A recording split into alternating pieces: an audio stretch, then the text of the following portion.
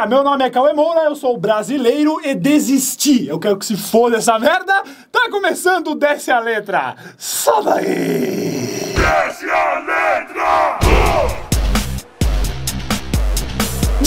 Pra cá, eu comecei a perceber um fenômeno bizarro que acontece comigo na internet. Talvez pela maneira de falar, esse jeito que imita Luiz Carlos Alborguete, ou Ratinho, ou sei lá o que, isso acabou me cercando de um tipo de público que discorda completamente das minhas ideias, das coisas que eu falo. Aí eu tento me aprofundar em qualquer assunto, eu sou bombardeado. E não tem problema vocês discordarem de mim do que eu falo aí de vez em quando, tudo bem, é saudável, é discussão, eu incentivo que isso aconteça mesmo. O problema é que tem um tipo de gente me acompanhando lá que eu olho e penso, mano, o que, que esse cara tá fazendo aqui? O que, que eu fiz pra atrair a atenção desse louco? Especificamente esse louco, você aí, você mesmo aí, Gustavo, Gabriel, Marcelo, Felipe, Rafael. Tira o cotovelo da mesa, Rafael! Isso me faz pensar que eu passei a imagem de ser alguém que eu não sou. Eu cometi algum erro aí, rolou algum ruído aí na comunicação. Um exemplo, vou dar aqui pra vocês. Quando os Estados Unidos aprovou o casamento gay recentemente, eu entrei naquela parada de trocar o meu avatar pulando pelo arco-íris lá, tá ligado? E um monte de gente falou: Peraí, você fazendo isso? Eu não acredito. Você nessa modinha aí? Como assim? Você apoia isso daí? Como, como é possível isso? Eu achei que nesse tempo todo aí que eu tô fazendo vídeo pra internet, eu tivesse deixado claro que sim, eu apoio esse tipo de coisa. Eu apoio o casamento gay. Você quer dar o cu, tem que dar seu cu. Eu apoio a legalização do aborto, a descriminalização das drogas. Você quer falar aí que eu sou esquerdalha de merda? Aí pode falar, fica à vontade, eu não ligo não. Mas por algum motivo, depois de anos batendo aí nessa tecla, tem gente que ainda se surpreende. Que fala assim, nossa, como assim? Você pensa assim?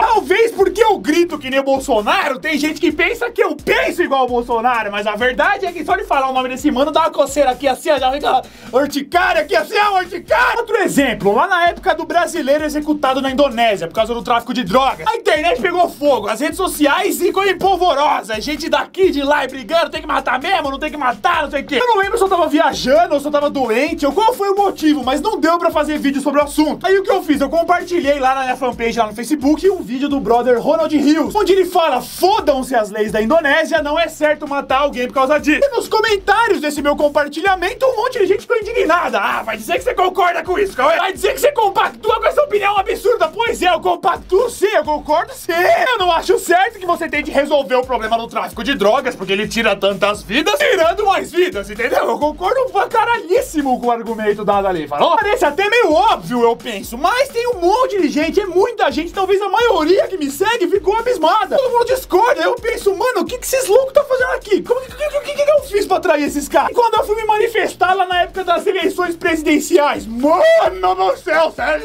Os caras transformaram o momento de honestidade da minha parte, onde eu quis opinar sobre o bagulho ali, papo cabeça, em campanha política. Eu quase tive que deletar meu canal. Os caras me transformaram em chapa branca, petralha, comunista, vendido. Até hoje, se a Dilma peida, os caras vêm falar, ai, cara, a Dilma peidou lá. E aí, vai fazer o quê lá? Vai lá cheirar o bagulho agora. Você não, você não botou ela no poder? Você não elegeu ela sozinho? Vai lá, Dilma, lá, vai se fuder. E agora, mais recentemente, rolou aquela puta discussão sobre a redução da maioridade penal. Mais uma vez, a internet se polarizou. É, cometeu crime tem que se fuder mesmo, isso era um lado, e do outro, o Brasil precisa de mais escola, não precisa de mais cadeia. A galera se degladiou nas redes sociais, eu tive até que excluir amigo no Facebook pra não criar aquela situação no meio, você entendeu? E mais uma vez eu fui bombardeado de mensagens do tipo, e aí, Cauê, você não vai se manifestar sobre a redução da maioridade penal? Eu quero saber sua opinião. Sério mesmo, mano? Você quer saber mesmo? Pra que você quer saber? Eu achei que fosse óbvio, nessa altura do campeonato, eu achei que você já soubesse a minha opinião. Além do mais, eu vou falar pra quê? Pra você dar piti? Eu não acredito!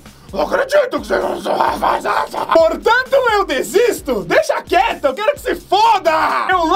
smells. Eu me livro da responsabilidade e a partir de agora eu me divirto. Eu não me estresso mais! Daqui pra frente eu vou comentar notícias da hora que envolvam cachuros e asiáticos loucos que comem cachuros e vou fazer receita da hora lá na culinária e vou fazer vídeo engraçado com os meus amigos do YouTube. Eu quero que o mundo exploda, ou melhor, eu quero que o mundo acabe no tsunami pra eu morrer surfando, falou? Pegando onda! Pegando onda! E de repente eu tenho uma fraqueza. Eu falo, opa, vou ter uma recaída. Eu li uma notícia de que o Brasil é o país que mais mata transexuais no mundo. Mata quatro vezes mais travecos do que o México, que é segundo lugar. Vai ver. Parte de mim pensa automaticamente, mano, eu precisava fazer um vídeo sobre isso aí. Eu precisava manifestar. Eu tenho a responsabilidade como comunicador de informar desse problema.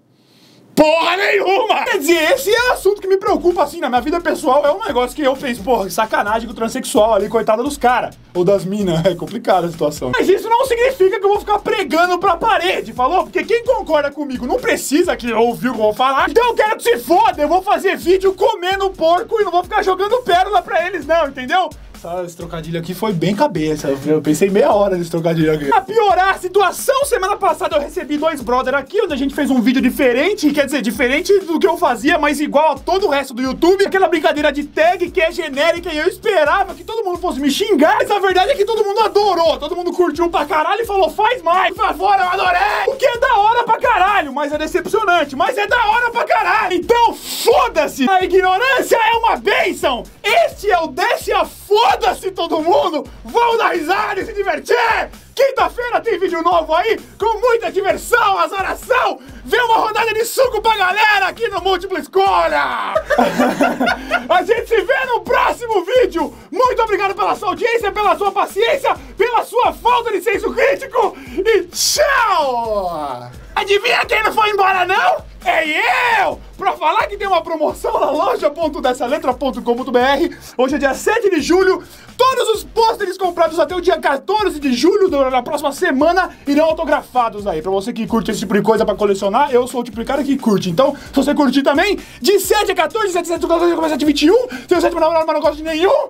7 a 14, pôsteres autografados na loja.dessaletra.com.br. Agora sim eu tô indo embora. Até quinta-feira, moleque! Tchau!